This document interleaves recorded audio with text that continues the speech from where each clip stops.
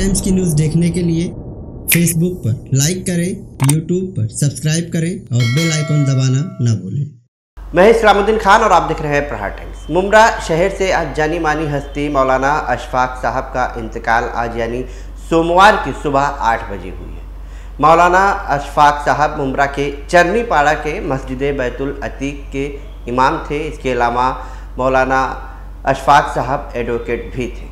मौलाना अशफाक साहब को उनके बेहतर कामों के लिए जाना जाता था और आगे भी जाना जाएगा।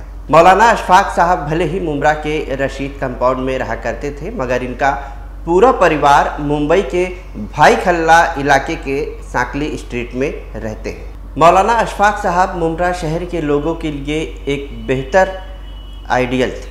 उन्होंने बच्चों के तालीम और तरबियत में बढ़ चढ़ कर हिस्सा लिया नौजवान बच्चों को नशे से दूर कर दीन की तरफ़ मोड़ा, यहाँ तक कि उन्हें जमात में भी भेजने का काम किया, जिससे ये बच्चे सही राह पर चल सके। इसके अलावा मौलाना अशफाक साहब ने सी डबल ए एन के वक्त जो प्रोटेस्ट हो रहा था, उस प्रोटेस्ट में भी, शाहीन बाग के प्रोटेस्ट में ये काफ़ी एक्टिव थे। मौलाना अशफाक साहब दीनी कामों से लेकर सामाजिक कामों में जो योगदान दिया है, ये कभी भूला नहीं जा सकता।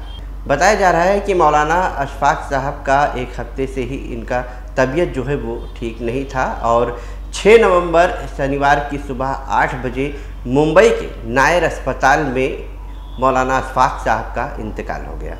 मौलाना अशफाक साहब सीनियर सिटीजन थे और उनकी तदफीन मुंबई के नारियलवाड़ी कब्रस्तान में ईशा के नमाज़ के बाद की गई।